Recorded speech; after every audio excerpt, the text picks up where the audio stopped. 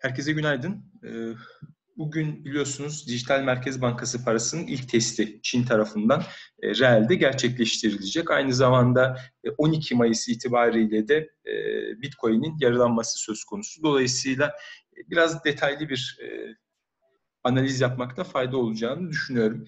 Hemen önden söyleyeyim, e, Twitter'daki yumurta kafa olayından kurtuldum da bu Zoom'a kaydederken e, hala e, nereden nereye geçtiğime çok hakim değilim. E, dolayısıyla arada böyle boşluk yumurta kafa çıkacak. Bu defa çıkan kafa benim kafam. E, ama önce bir e, fiyat hareketi olarak bakalım.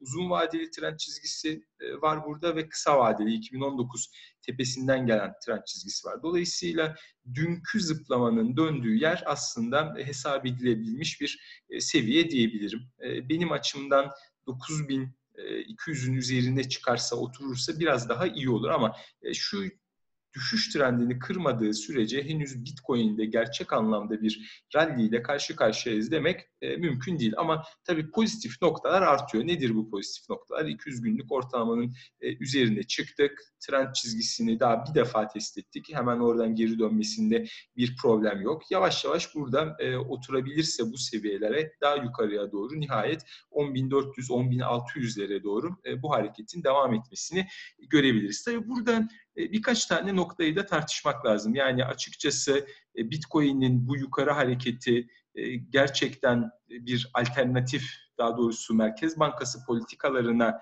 karşı bir hareket olarak mı gerçekleşiyor yoksa daha net, daha tatsız çünkü bu Merkez Bankası para basıyor o yüzden yükseliyor karşı daha güzel bir hikaye ama şurada görüyorsunuz aslında S&P ile beraber hareket eden özellikle e, Şubat ayından bu yana bir endeks görüyoruz. E, tabii şuradaki detay önemli. Bitcoin biraz daha erken dönmeyi başardı. Bu önemli bir işaret olabilir. E, ama nette baktığımızda ben e, düşüşte de söylemiştim. Kurumsal tarafta e, alımlar biraz artıyor galiba. Yani bu sadece sizin benim takip ettiğiniz bir e, varlık olmaktan çıkıp biraz kurumsal portföylere de e, giren bir varlık ki e, satış çok sert oldu e, şu dönemde. Ama altınla karşılaştırdığımızda örneğin altının daha iyi bir performans gösterdiğini. E, bu arada altına çok dikkat edin. 1680'lerin altında e, iş ilginçleşecektir. E, ama konumuz e, altın değil. E, dolayısıyla çok değinmiyorum o konuya. E, altının daha iyi bir performans gösterdiğini e, görüyoruz. Dolayısıyla Bitcoin tarafının tam olarak Merkez Bankası e, stratejilerine yönelik bir e, gelişme olduğunu söylemek mümkün değil. Burada e, bir diğer takip etmemiz gereken, daha doğrusu şöyle söyleyeyim, e, Merkez Bankası'na karşı net bir hareketlilik varsa eğer bunun nereden kaynaklandığını görebiliriz. Şu Bitcoin fonu aslında bu açıdan güzel bir örnek.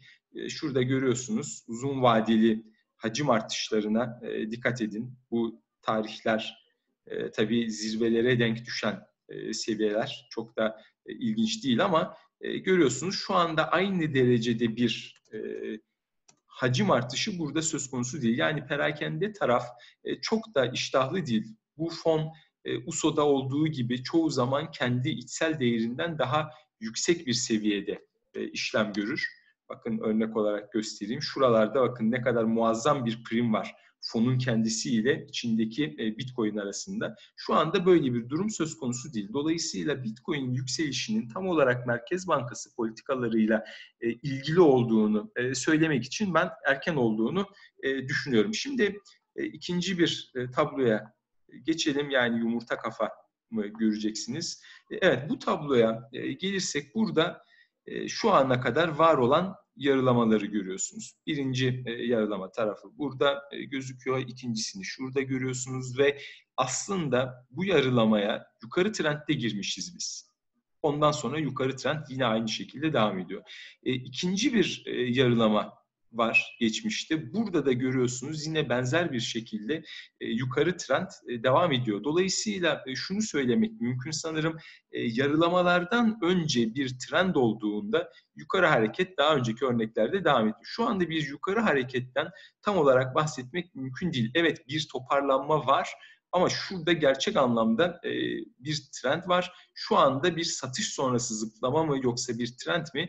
E, bunu okuyabilmek çok mümkün değil. Şimdi e, yarılama ile rally arasındaki olayı bir e, tartışmak gerekir diye düşünüyorum. Öncelikle e, şu noktaya bakalım. Yani yarılamanın e, bir e, azalma, rewardlerde, ödüllerde bir azalma, arzda bir azalmadan dolayı fiyatı yukarı çekeceği düşüncesi var ki temel ekonomik arz talep dengesi düşünürseniz de e, mantıklı gelen bir nokta. Ancak önce e, şunu unutmamak gerekir.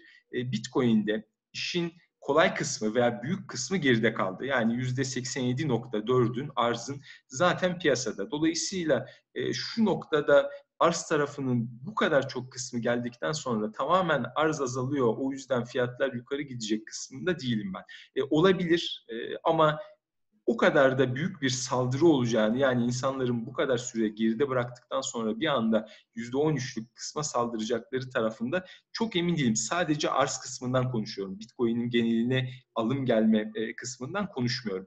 E, onun altını çizeyim. Şimdi e, görüyorsunuz günlük olarak 144 e, blok çıkıyor. Yani aslında burada şunu yapıyoruz. E, ne kadarlık bir Bitcoin geliyor onu hesaplayalım. E, aşağı yukarı 8700 dolarlardayız. E, matematiği siz de kontrol ederseniz sevinirim. Ne kadar ödül geliyor şu anda? 12.5 geliyor.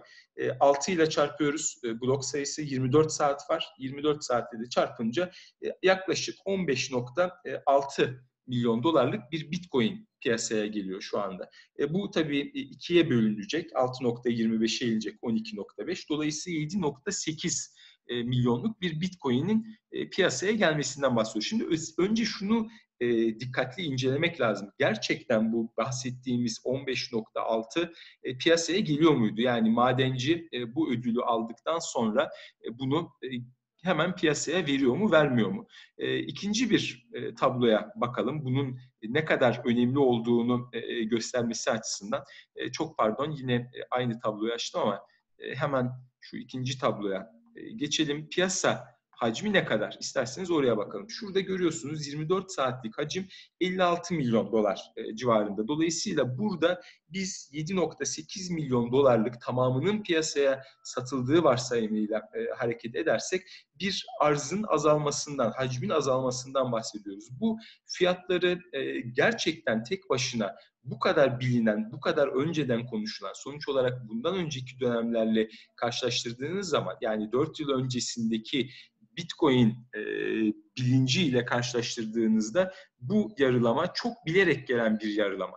E, herkesin tabii bunu e, daha önceki iki vakayı baz alarak alması da mümkün. Ama önemli bir e, komünite diyelim. Çoğumuz bunun olacağını artık dört yıl önceden zaten biliyorduk. Öyle sürprizdi veya gidelim Google'da arayalım e, tarzında bir e, bilgisizlik tırnak içinde söylüyorum söz konusu değil. Dolayısıyla azalacak olan ki tamamının satıldığını varsayıyorum e, madenciler tarafından azalacak olan Bitcoin miktarı e, öyle çok da düşündüğümüz kadar e, büyük bir miktar olmayabilir. Buna e, dikkat etmek gerekiyor. Şimdi e, diğer bir noktaya geçelim. Tekrar az önceki Merkez Bankası e, konusuna geçersek hemen yumurta kafamı e, göreceksiniz. E, bu tarafta e, benim e, son günlerde takip ettiğim e, konu global olarak baktığınızdaki Bitcoin hacimlerinde büyük bir zıplama var mı yok mu? Burada dönüp şeye de bakabilirsiniz. Ülke bazında da veriyor bu site. Oraya da bakmakta fayda var. Ben e, sermaye kaçışlarını, dolara kaçış hareketini vesaire buradan takip ediyorum. Çünkü e, artık yavaş yavaş öyle bir yatırımcı nesli geliyor ki e, işte gidip kuyumcudan Cumhuriyet altını veya döviz bürosundan dolar almayacak. Biraz daha e, farklı yatırım tercihleri var. Dolayısıyla ülkeler bazında ne olduğunu da buradan takip ediyorum. Ama şurada e, gördüğünüz üzere işlem hacminde hala çok belirgin bir e, artış yok. Tabii bu e, ne kadar update o e, tartışılır ama şuradaki genel gerilemeyi görüyorsunuz. Dolayısıyla e, ben buradaki genel gerilemenin ki birkaç haftadır bir artış olduğu gözüküyor ama genel gerilemenin henüz o konuştuğumuz merkez bankalarından kaçış veya daha önemlisi ben onu Merkez Bankası politikalarından ziyade counterparty riskten yani karşı taraf riskinden kaçışın çok büyük bir rally e, tetikleyeceğini düşünüyorum. İstediğim rally de o. Yani enflasyon tarafındaki bir artış e, burayı istediğim seviyelere getirmez benim. E, ki şu anda deflatif bir ortamdayız. Enflasyon tarafı e, işliyorum maillerimde ona değinmeyeceğim. Asıl counterparty riskten kaynaklanan bir yükseliş olacak. Altın tarafında da aynı dinamikler söz konusu olacak. Bu henüz burada gözükmüyor. Yani evet bir yükseliş var global olarak ama bu global yükseliş özellikle problemli gelişmekte olan ülkelerden kaynaklanan bir yükseliş. Dolayısıyla daha önceki şu heyecanın şu anda hiçbir şekilde mevcut olmadığını e, görüyoruz. Daha önceki halvingler kısmının bile öncesindeki hacmin bile altında bir seviyedeyiz neredeyse. Şimdi e, bu noktada e, fiyatlamaya isterseniz geçelim. Fiyatlama e, hangi seviyelerde makul mu daha yükselmesi gerekir mi veya e, nasıl bir ayı piyasasındayız, boğa piyasasında mıyız e, noktasına geçelim. Hemen burada e, tekrar bir yumurta kafamı e, göreceksiniz. E, burada benim kullandığım, daha önceki e, daha sık video çektiğim zamanlarda da kullandığım e, bu siteyi e, biliyorsunuzdur. E, burada iki e, noktaya değineceğim. Şu e, VWAP hemen altında bulabilirsiniz. Yalnız bu on-chain e, bitcoinler kullanılarak hesaplanan bir e, ortalama. Dolayısıyla çok da sağlıklı e, bütün e, Bitcoin dünyasını, evrenini e, hesaplıyor diyemeyiz. E, muhakkak ki aramızda e, çok sayıda off-chain tutanlar da e, vardır. E, ona da dikkat etmek lazım ama e, şu noktada e, benim takip ettiğim şu. E, ortalamalardan, standart e, teknik analiz aslında bu. Ortalamalardan fiyat çok uzaklaştığında e, ortalamaya geri döner. Dolayısıyla e, çok yüksek heyecanın olduğu seviyelerden bir noktada ortalamaya doğru geri dönüş yaşarız. Bunu daha önceki vakalarda yaşadık. Şu anda ortalamalar civarındayız. Dolayısıyla e, fiyatların çok yükseldiğini, e, bir gerçeklikle kopukluk olduğunu şu seviyeden söylemek mümkün değil diye düşünüyorum. İkinci nokta, e, yine bunu daha önce de söyledim. Gerçek anlamda ayı piyasaları aslında bakın şurada gördüğünüz yukarıdaki bunun da yine aşağıdan e, ne olduğuna bakabilirsiniz. Bunların hiçbiri bu arada öyle e, diğer bazı göstergeler gibi yıllarca test edilmiş zaten Bitcoin'in geçmişine kadar çok sağlam hiçbir şekilde yanılmayacak göstergeler değil. E, bazıları sadece optimize edilmiş bazı göstergeler ama ben kullanıyorum. E, istemeyen tabii e, kullanmaz. E, şuradaki e, hareketleri görüyorsunuz. Üst banda değdikten sonra önemli bir düzeltmeye giriyoruz. Ben hala Bitcoin tarafında e, net bir böyle e, kitlelerin coşkunluğuyla karşılaşan bir ayı piyasası, boğa piyasasına girmeyimiz görüşünde değilim son yıllarda. Son iki yılda çok kuvvetli e, fiyat artışları olsa bile o fiyat artışları üst bantta son bulmuyor. Dolayısıyla e, şu andaki seviye sağlıklı bir seviye. Daha yukarıya e, gitmemizin mutlaka bu yarılamayla tetikleneceği görüşünde değilim. Eğer 10.400, 10.600'lerin altında bir seviyeden e, bu yarılamaya e, girersek o zaman e, muhtemelen çok büyük bir rally olmayacaktır. Ama 10.400'leri aştıktan sonra 12 Mayıs'a yaklaşırsak o zaman bence daha kuvvetli bir rally ile e, karşı karşıya kalabiliriz. E, şimdi şu noktayı da bence çok net gördük. Geçtiğimiz yıllarda e, benim de içinde bulunduğum bir tartışmaydı. Ben gerçi karşı tarafını hep alıyordum. Ama bu tartışma işte mining e, costlar, veya sadece Bitcoin için değil çıkartma maliyeti, altının çıkartma maliyeti all inclusive 1200'dür dolayısıyla altına düşemez. İşte petrolün çıkartma maliyeti şu kadardır altına düşemez. Petrol hareketiyle beraber gördük ki altına düşebilir. Yani sizin nakit ihtiyacınız varsa daha ucuzdan satabilirsiniz. Sizin saklayacak yeriniz yoksa üstüne para verebilirsiniz. Dolayısıyla finans piyasasında çıkartma maliyetinin taban olması gibi bir e, şart yok. Dönem dönem olabilir. E, bu çıkartma maliyeti zaman içinde arzın kendisini yeni talep dinamiklerine uyum sağlamasını sağ, göstermesi açısından e, sağlaması açısından önemli bir seviye. Ama finansal piyasalar açısından bakarsanız burada 3 günlük, 4 günlük hareketlerden, çok büyük muazzam hareketlerden bahsediyoruz. Dolayısıyla e, akademik veya teorik olarak bir e, fiyatlamayı alıp trade etmek e, çok mantıklı gelmiyor bana. Aynı durum e, minerlar için de geçerli olacak. Çoğu e, yorumda bazı minerların oyun dışında kalacağını e, vesaire göreceksiniz. E, kalabilir ama kalmayabilir de. Çok fazla e, o noktaya e, ağırlık vermiyorum ben. Dolayısıyla e, 10.400-10.600 aralığını kırıp kırmayacağımıza göre e, Helving'e bir pozisyon almayı düşünüyorum. Ama orta uzun vade baktığımızda özellikle kısa demiyorum. Çünkü kısa vadede genel piyasadan altın dahil ben e, bazı şüphelerim var. Ama e, orta uzun vade az önce söylediğim counterparty risk başta e, olmak üzere e, Bitcoin tarafında çok ciddi yükselişler görebiliriz. Tabii şunu da unutmamak lazım.